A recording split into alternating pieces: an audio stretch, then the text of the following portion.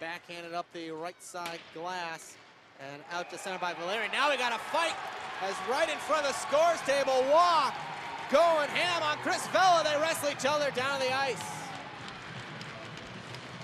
That didn't last very long.